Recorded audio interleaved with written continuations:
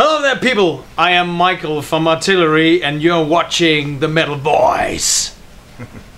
This is Neil Turbin with Death Riders, Bleed the Hunger, and fronting Onslaught to fill in for Sy Keeler. And you're watching the Metal Voice!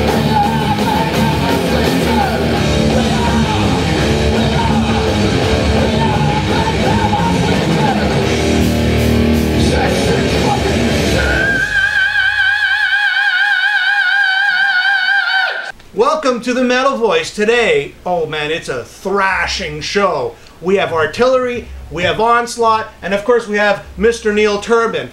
Guys, tell me tell me about the tour. How's it coming along so far? Amazing. Yeah, really great. Um, the first time for Artillery to, to tour in the US, so it's uh, been a real huge experience and a great honor too, because uh, to, to travel with you know a band like Onslaught and obviously uh, a, renowned singer as uh, as Neil Turbin is a huge honor. So we're just very delighted and uh, happy about the whole situation. So a lot of miles to travel, but a whole lot more experiences and, and great times to have. Yeah. Yeah, and I just have to add that um, you know it's a pleasure to, to tour with Michael. Um, you know he's an amazing singer, and you know just takes the artillery brand and lifts it up to the next level. I mean it's a, it's a tremendously amazing band, kicking ass every night. Hearing you sing is just you know a, a, a treat and a, an experience. I mean definitely uh, one of the best singers out there, and you know in the business. And to hear artillery plays is a, a pleasure every night, and to play with Onslaught, of course, a great honor for me. And you know filling in for Sy Keeler is uh, you know something that I feel you know it's an, an honor and an opportunity as well to to help the band. Okay, Michael, I have one question for you. Have you ever met King Diamond? I know you're Danish. Yeah. Have you ever met King Diamond? No, I haven't. I'm afraid. Neil? I've met King. You met King? He's a great guy. I actually have um, Matt Thompson from King Diamond playing on Death Riders Yes, yes. CD, but and Matt, you know, is just a, a really super person, really amazing drummer, as I think Yeah, everyone yeah. knows by now, and um, you know that's a great honor to have him playing with us. But as far you know on the album, but as far as King, Yeah. you know.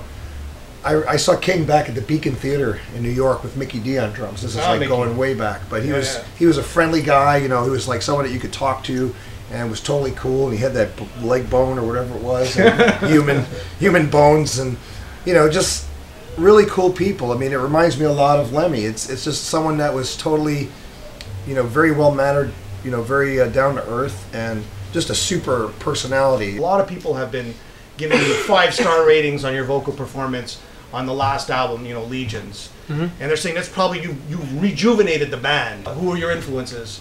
Well, a whole lot of people, but uh, obviously Ronnie James Dio. Uh, yeah, the master. Yes, I mean you cannot avoid him, and I mean Bruce Dickinson, um, Ian Gillan, um, uh, actually also a guy like uh, Mike Patton because he's like, and and, and Versatile. yeah, very versatile, and um, yeah, I mean a lot of people. I even listen to to to yeah Lemmy and, and and people like that because there's something about to sing a song like Johnny Cash stuff Yeah, like yeah, that yeah. because uh, he does something that makes you want to hear what he says and Okay. I'm trying in my own way to acquire that but uh, I'm just trying to, to to bring everything I got to the plate I mean uh, it- Neil, music, uh, vocal influences. you know, I really like great singers. So I like Glenn Hughes. I like, you know, Paul Rodgers because they're finesse singers. I like Stevie Wonder. Mhm. I like, um, you know, I can give you a list and keep going, but I won't. But there's just so many amazing singers that actually sing. Yeah. And I think that's an art form that's kind of lost with all the digital age of information technology. You know, there's abilities to sample things and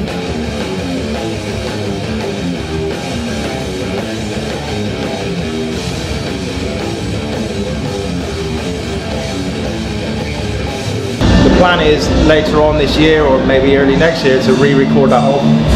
It's a great idea. Yeah. So All right, so that's where the, the band is going, right? To Yeah, I mean, I- either write new material or re-record that old. well, we're, we're recording new material for sure. Um, my my way of thinking at the moment, what I'm talking with the label about is releasing the In Search of Sanity album re-recorded as a bonus album with the next new album.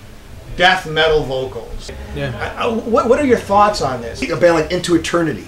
Yes. I think that's a really good example of kind of Yes. right on the fringe of death metal and thrash metal and progressive. You know, they're kind of right there. So I, I can appreciate that. But when it comes to you know, when, when it's totally just barking. Pit bulls, man, they don't Yeah. fucking they, they eat dog food, and you don't have to get them a hotel room. It's Michael, awesome. the, Michael O'Neill, the only analogy I have for death metal vocals, I mean, we're talking about pure death metal vocals, right? Yeah. rah, rah, rah, rah, is, is, is playing a guitar with one string. At least in my opinion. I mean, Yeah. it- but, but what are your, what's your opinion? Well, I don't know because I think there's a, a difference between some bands and I mean there's like the, the obvious stereotyping of just doing like that, but I think like Cookie Monster. Yeah, perhaps if you could, yeah, if you will, but I think like a band like Morbid Angel, uh, obviously I think that, and uh, also Shagrath from Dimmu Borgir and stuff like guys like that, they, they have a more variety to what they do.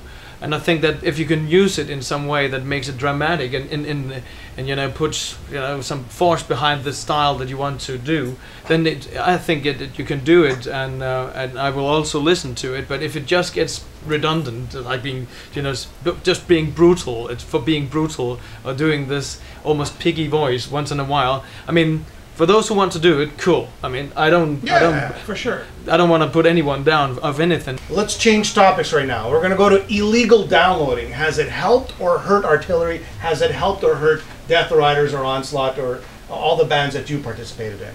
I'll let I'll Michael start with Mike. jump on that one. All right then. Uh, well, it's a tough question actually, but obviously, the music industry is uh, hollowed out now these days. I mean, there's no money there really. You have Yeah. to tour to make money. You don't make money out of records anymore. And um, as far as illegal downloading goes, I think that's a, it's a reaction because. Um, Back in the day when the CD was, uh, you know, brought forth, the prices were very high because they said, "Oh, like this is a new platform. We have to introduce something new." But when the production prices went down, they kept the prices high for the people, you know. And so why want to spend so much money on something that you, you know, can get easily in some other way? Uh, and they, they may they may have mismanaged the whole Napster thing in the back of the day. You find that there's more of a reach globally for artillery where you couldn't get that before because of the illegal downloading?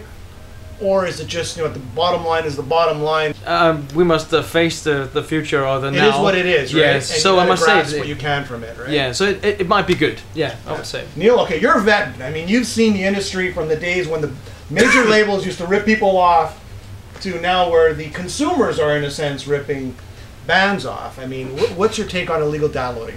And you know, we just came from a really nice restaurant here in um, Montreal.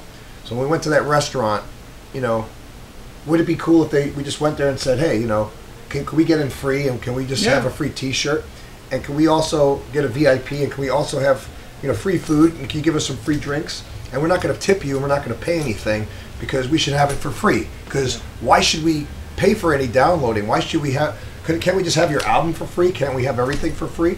I mean, that's the mentality that's out there. You can't walk into a hotel and get a free room Absolutely just not. saying, "Hey, I want it for free," or, or a restaurant. But people do expect to get free CDs. They, they figure they can just download it. They figure they can just go to, you know, can you get me f- into your concert for free? Well, Yeah. you know, this is the way musicians, artists make money. They get paid by working, and their work is the music and creation of music, and also, Yeah. you know, the artistry. So I think that it's an unfortunate circumstance, and I think I won't brush it under the carpet or, or sugarcoat it by saying it's okay. No, it's not okay. But the people who ruined it are the architects of the internet. That's right. There is no there is no code lock on on the download. In other words, they, they didn't invent it where there was some type of code in the download, so you'd have to unlock it. Now there are some types of, of, of downloads that are out there that have like a, a password. Yeah, yeah. You got to unlock it. You can't just grab it. So sure, there's a way to do that. If they didn't want you to have it for free, then they wouldn't have done it that way. So I think it's by design. There's a reason for it. There's usually a reason for everything, even if we don't understand what that is. Yeah. Last comments, Michael. What do you want to tell all your fans out there? Well, just a you know huge thank you for all your support and all your help and uh, staying true with us and um, yeah, just being there and uh, being so supportive and uh, writing such nice uh, messages to us and uh, yeah, keeping the metal alive and the enthusiasm and uh, all the good spirit and stuff. So thank you very much. And uh, by the way, King Diamond, please call me. I want that coffee. You know. I spoke to King Diamond just recently. Oh yeah. But I didn't speak to him in person. It was a Skype. Oh, Nice. Neil, closing remarks. Uh, this is an awesome experience for me. You know, this is the longest tour I've done with with uh, you know a band with Onslaught. I mean, there's Yeah, yeah, 40 about 40 days. We're going over next back to the U.S. and then back to Canada again. So we're going all across Canada. We're playing, you know, places that I've played before and also ones that I have. Um, going back to uh, Brazil and the Chile with, with artillery and onslaught. Nice. It's amazing.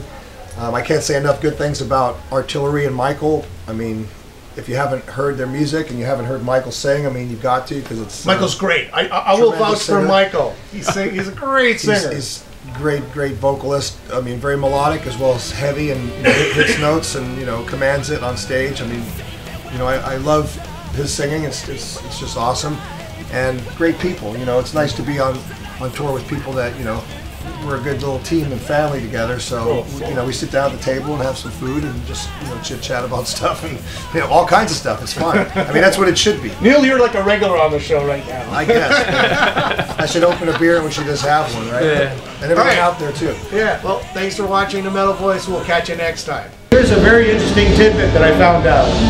Your not your your real name is actually Nige Rockett. At first, I thought this was a stage name. No, no. This is your official name, Rockett. Yeah, that's my uh, real name, and I've just showed this gentleman my passport as, as uh, evidence. So yeah, I was uh, I was born a rocket.